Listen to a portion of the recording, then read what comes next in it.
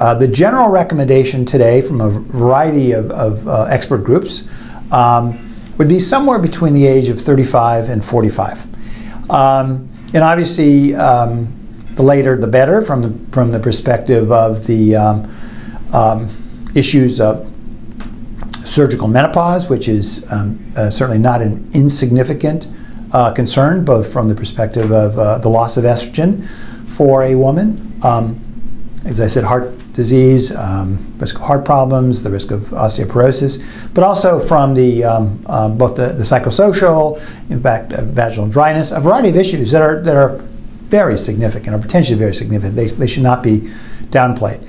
Um, and so, somewhere between 35 and 45. The other um, important point, point, point out is that there's increasing evidence now that the that uh, BRCA1 mutations and BRCA2 mutations are, um, are really quite different, both in terms of the lifetime risk uh, of cancer, but in, in, in the case of the question I was asked, timing, when those cancers seem to appear. And there's uh, um, pretty good evidence that uh, although BRCA2 mutations do increase the risk of ovarian cancer.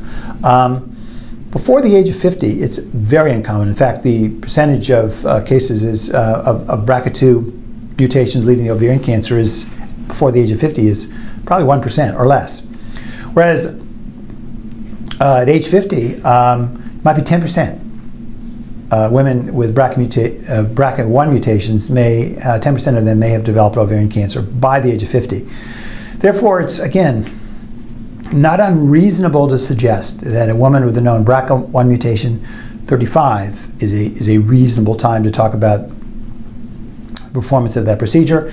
And for a woman with a BRCA2 uh, abnormality mutation, perhaps uh, 45 is not an, unreasonable recommendation. Obviously, um, I'm not giving medical advice. I'm certainly not uh, saying that I know the individual patient, but those are reasonable considerations for the, for the woman, uh, her family, of course, her advisors, and of course her doctors who are advising her.